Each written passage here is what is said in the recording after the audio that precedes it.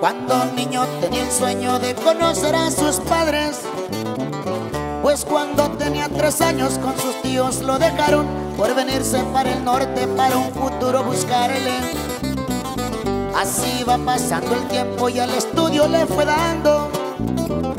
No era el mejor alumno, pero tenía que seguirle. Comenzó a ponerse metas para salir adelante a puchones, pero me hice médico veterinario. Y por no tener dinero no ejercí mi profesión. La realidad era obvia, otro rumbo iba a buscarme. Una mañana nublada me despedí de mis tíos y me fui para el otro lado. Se me concedió aquel sueño que tenía desde niño de conocer a mis padres. Pues aunque a veces hablaban también por videollamadas, sus consejos me faltaban.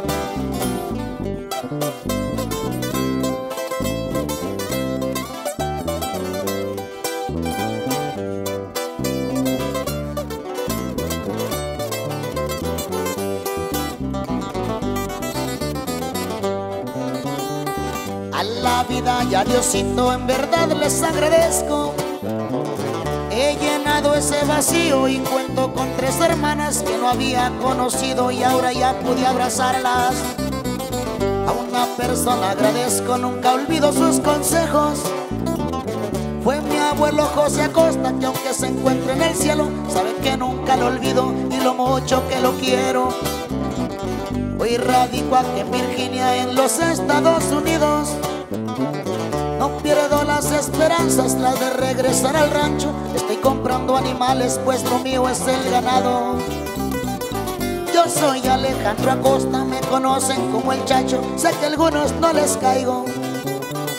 Es cosa que no me importa, es de la familia y detalles, y somos la misma sangre. Un libro traigo tatuado, sus hojas están en blanco, he borrado mi pasado. Música